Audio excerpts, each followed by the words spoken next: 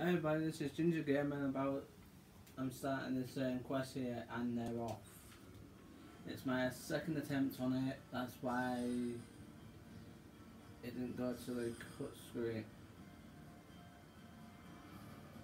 So hopefully I get it right this time round.